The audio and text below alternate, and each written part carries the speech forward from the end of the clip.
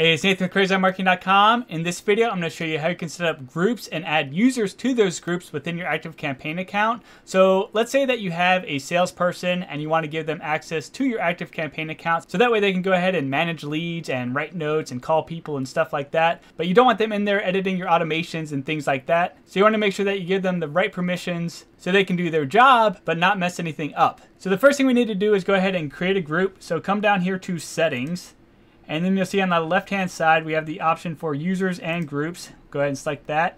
And we want to come over to groups. So select groups at the top, and then we'll go ahead and add a new group. And let's go ahead and call this one sales team. So we can add all sales members to this particular group and you could go ahead and add a description as well. And then go ahead and give them access to all relevant lists. And I have my one list selected right there. But then we come to permissions. And so this is where you have a lot of control over what they can and can't do. So we'll go through a few of these options real quick and take a look. So we have lists. So do we want them to be able to add lists, edit lists, delete lists, manage custom email headers? And no, I don't think so. No salespeople need to be doing that. How about campaigns? So do we want them to be able to add, edit, delete, send campaigns? No. Subscription forms? Do we want them to be able to manage those? No, not really relevant. How about templates? So do you want them to be able to add, edit, or delete templates? No, they don't need to be doing that. How about deals? So this sounds like a salesperson type of thing.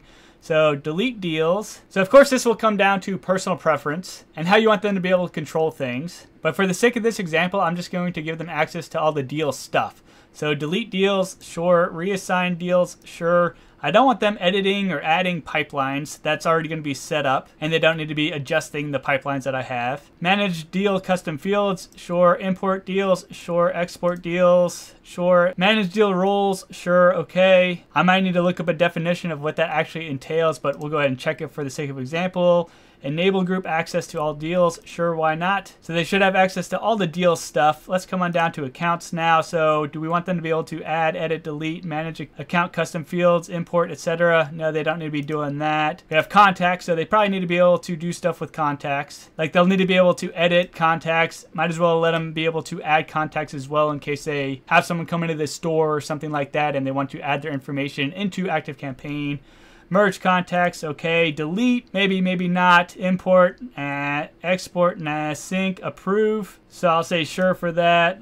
And that's probably pretty good for the contacts. We have automations right here. So do I want them to be able to manage automations? No. Reports. So I'll go ahead and let them be able to run the deals reports if they want to. We'll turn that on. How about save responses? So do I want them to be able to manage those? No, that's fine. And landing pages, so access landing pages, no, they don't need to be able to do that. So those are all the permission, permissions that I've given them access to. Then we have limits as well. And here's where we go ahead and set some limits on things. So like limit email sent, limit number of contacts, limit number of lists, limit number of campaigns. So maybe we would have two groups like new salesperson and experienced salesperson, where the new salesperson can maybe send like 10 emails in a day or something like that until they get their feet wet and warmed up and learn what the heck they're doing. So we could go ahead and limit them to only be able to send 10 emails per day. So you can set limits up if they're relevant or not. I'm going to go ahead and turn it off and click on save. So now we have our sales team group set up. Now we need to go ahead and add somebody to it. So let's come back to the users page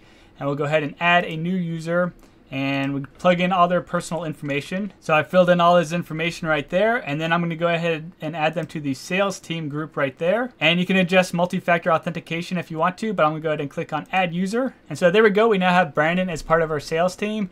Now I'm going to go ahead and log in as Brandon real quick just to see what type of access he has. So I'm going to go ahead and grab the link to my ActiveCampaign and I'm going to open a new incognito window and we'll go ahead and log in as Brandon. So Brandon and his password. And so this is what Brandon's account will look like. As you can see, he doesn't have access to automations on the left-hand side. So on my account, you can see I have automations over here on the left-hand side, but on Brandon's, no automations.